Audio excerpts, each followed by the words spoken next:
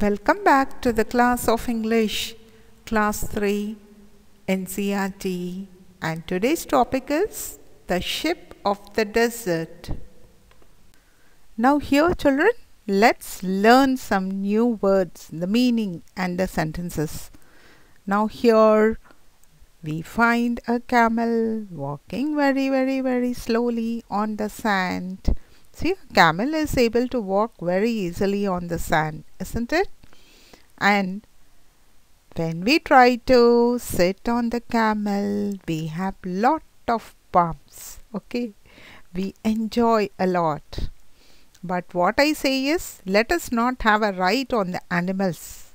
Let us not enjoy a ride on animals, but instead feed the animal, wash the animal, see the structure of the legs that helps the camel to walk on the sand.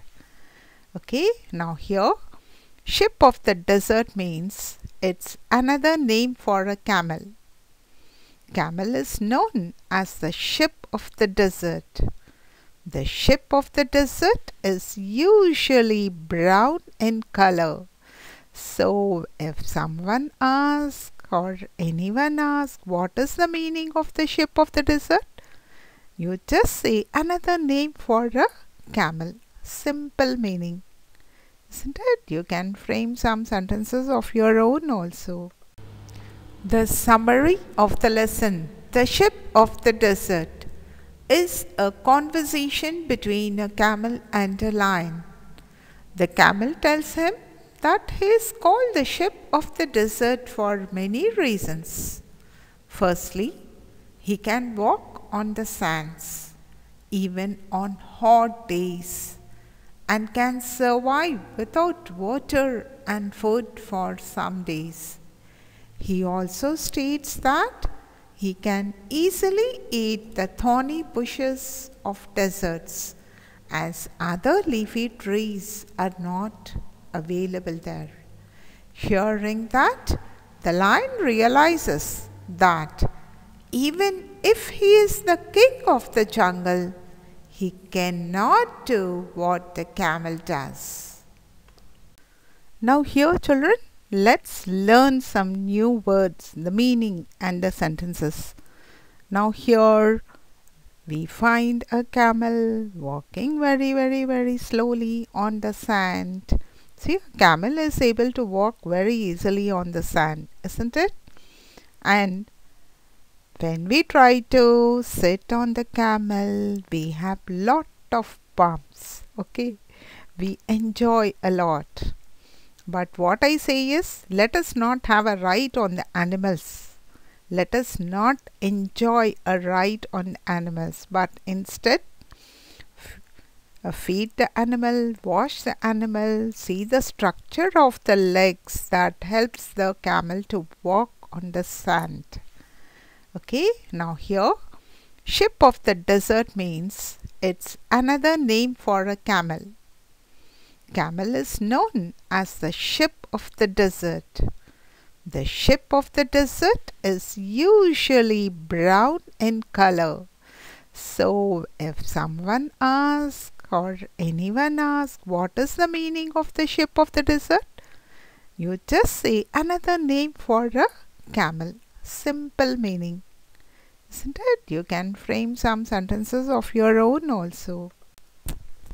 Now here 1 mile equal to 1.609344 kilometers. We can round it up to 1.6 or 2 kilometers. Now here the meaning of miles means a very long way. Usually when we go for a walk, we say, yes, I have covered 5 kilometers in the morning. I have covered 10 kilometers in the morning. But for distance, we use miles also. Miles means a very long way. Sentence My house is 15 miles away from the river. Miles means a very long way. Sentence My house is 15 miles away from the river. The place is miles away from here. The place is miles away from here. Now here in the picture we find many desert plants also, grassy plants also and small hills also and usually we feel like having a walk in these places where it is calm, where it is cool, where we get fresh air, isn't it? So the meaning of miles is a very long way. The king of the forest means who is the king of the forest? It's another name for a lion. King of the forest means another name for a lion. Now here in the picture, see the king of the forest is there followed by other animals. Now it's not that the king of the forest scares other animals. The king it maintains the other animals it helps the other animals but uh, we don't know about the different types of lion children. The li- some of the lions also may be very very good. So we know one story about the cow and the lion. You ask your parents they will uh, narrate the story the sincerity of the cow is appreciated by the lion and it will not eat the cow okay there are very good lions the king of the forest also so the who is the king of the forest? The lion. What's the meaning of the king of the forest? It's another name for a lion. Sentence. The king of the forest roars loudly. The king of the forest roars loudly. See, its voice is such. Yes, we think that the lion will roar very loudly and all the animals will run away, isn't it? It's not that. Okay, the voice of the lion is such. Everyone is scared of the king of the forest. Everyone is scared of the king of the forest.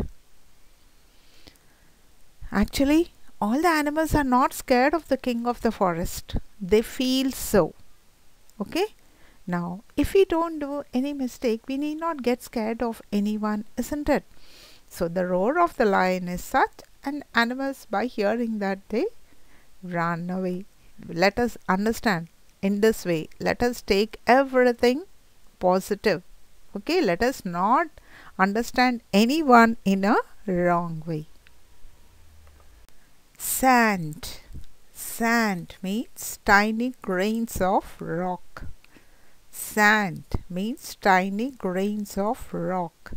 Now, if ever you want to know more about the sand, what you have to do is go near a place where a building is being constructed and there lot of sand can be found. You hold the sand, you observe. They are tiny grains of rock. We are walking on the sand of the beach. Near the beach, children, the sand is brought out along with the water. The sand, the shells are brought along with the big wave of water. Then the sand is golden in color. The sand is golden in color. It shines in the sun, isn't it? That's why we can say the sand is light brown in color or whatever color you observe on the sand. Thorns. Thorns means a small sharp pointed tip. Thorns, a small sharp pointed tip. Now usually in the mehndi plant we find the thorns. Then while plucking the rose flowers also we have we find the thorns, isn't it? A thorn is hurting my foot. If we walk barefoot that means without slippers somewhere or the other a small thorn will break the foot and we remove it. Then again we start walking isn't it? Usually in the gardens we feel like walking barefoot without slippers so that uh, foot feels very soft and we really enjoy. The rose plant has thorns on it. Now here in the picture we find the cactus plants and uh, these cactus plants grow in the desert areas mostly more in number in the desert areas because they don't need much water. Now let's learn few points about why the camel is called as the ship of the desert. We all know that desert is nothing but sand, sand everywhere. And there are no trees, no rivers, no lakes, no water. Only in some places we find the oasis. And the only tree that grows there is the date palm tree, the fruit tree. I mean to say it is the fruit tree. Only the dates. We don't see any guavas, mangoes, pomegranates, sapotas like as we find here. So here the sand burns but it doesn't bother the camel. It can run on sand at 25 kilometers an hour. Its feet are thick and padded. In the previous lesson, we have learned the meaning of padded, isn't it? Yes. The hot sun does not burn them because the feet are padded. There are no rivers or lakes in a desert. It can drink 200 bottles of water at a time. See, we can't even drink one bottle of water at a time, isn't it? It's little difficult for us to drink so much of water at a time. A bottle full of water, it makes our stomach too heavy even to walk or sit or stand, isn't it? Now, the camel has a big stomach. It can store water for a week or two. That means it, it can store water even for two weeks. It stores food in its hump. It eats lot of food at one time. Then it doesn't need to eat for a fortnight.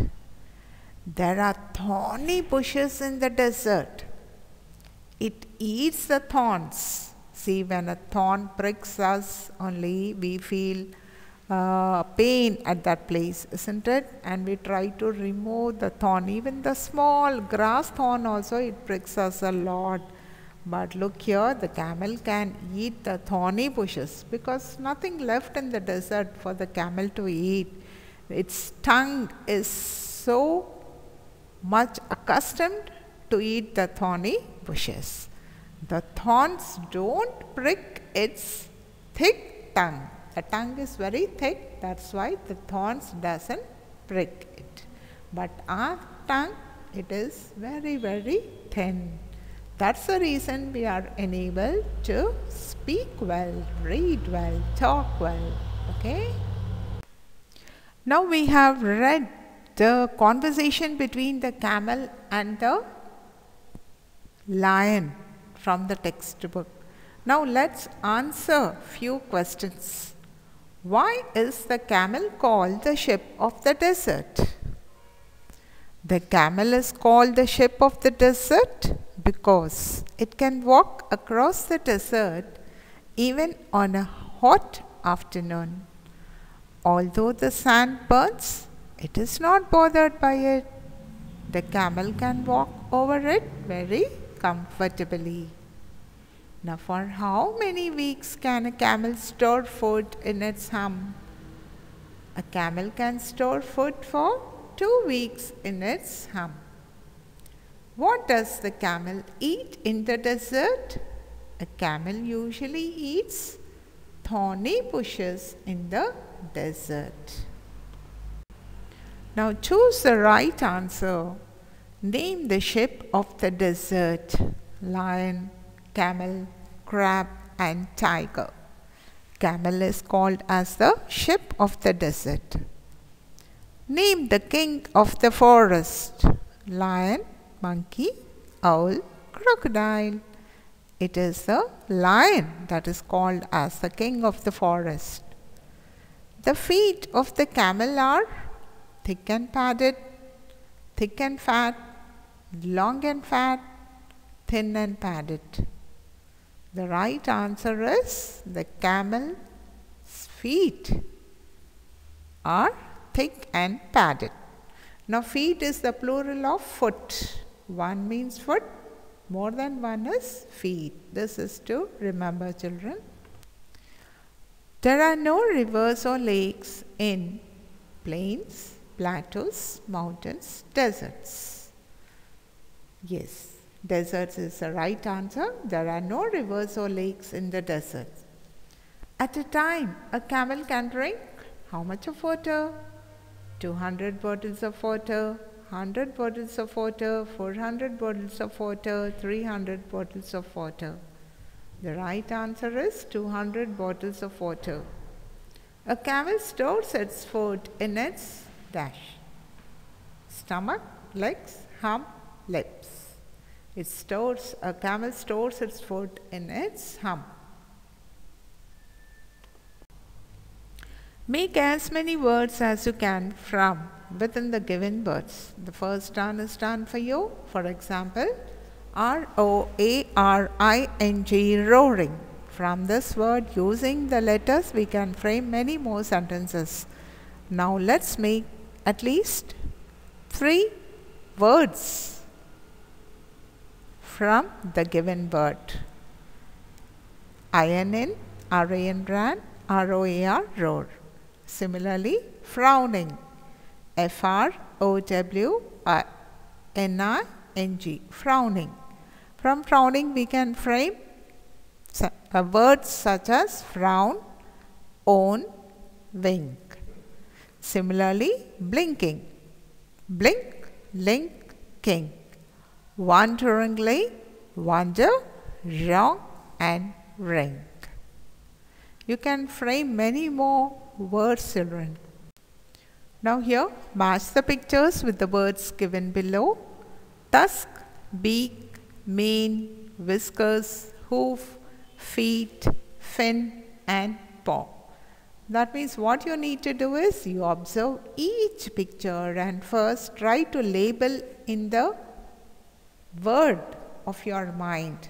Then later on you can check the answers. The first one is mane. Observe the picture. Picture of the face of the lion, mane. See, you can see the hair of the lion also. Then the second one is the paw, P A W paw. Next, hoof, H O O F, hoof, hoof of the camel, paw of the lion. Beak, B E A K beak, beak of the bird. F E E T feet. W H I S K E R S whiskers. F I N fin. T U S K tusk. So here you can identify the hoof of the horse and the feet of the camel. Now here you can observe three pictures and you can frame a story of your own. A sample one is in this way. In the first picture, two goats are coming from opposite direction. Both of them want to cross a narrow bridge, but only one can cross it because the bridge is very, very narrow. In the second picture, they start fighting as no one is ready to move backwards. In the third picture, as a result, both of them slip and fall into the river. Now you can frame a value that we learned from the story. A simple value is that we should try to adjust ourselves, we should try to cooperate, and we should avoid quarreling that brings harm to us. If we are friendly, we can achieve many great things and we can be happy. Read these words aloud, paying attention to the spellings. I, the letter I, E Y E I, we see with our eyes. O U R, R, H O U R, R. 60 minutes make one hour. W E E K, week, week of the day. W E A K, weak or energetic. N E E D, need. I need a pencil. K N E A D, need. That means mommy needs the wheat flour to make a dough and prepare rotis. I N in, inside the box. I N N, in. It's a place to stay for overnight. S E E C to look at. S E A water. N O no. K N O W no. I don't like to swim in the water. K N O no. Yes, I know to sing. H E R E here. Please come here. H E A R. No, I cannot hear you. N O T not. Do not spit on the floor. K N O T. Not. Tie both the ends of the thread with a knot. E I G H T. Eight. Number eight. A T E. Eight. I ate an apple. O F of this is made of cloth. OFF, he is off to the market. That means he has gone to the market. TWO, two number, it is the number. TOO2, this water is too cold to drink. BYE, bye, bye bye. BYE.